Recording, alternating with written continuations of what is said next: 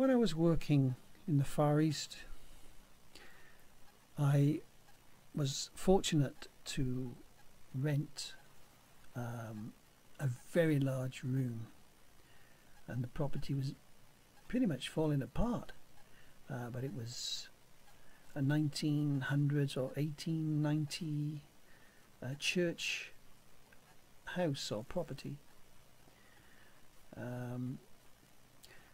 There were some strange things going on there. I was actually teaching, and I'd come back after school, college, and the bed I had had moved about four feet. And actually, sometimes that bed would would um, be be moved a few feet in the morning when I was in it. Uh, kind of a strange place.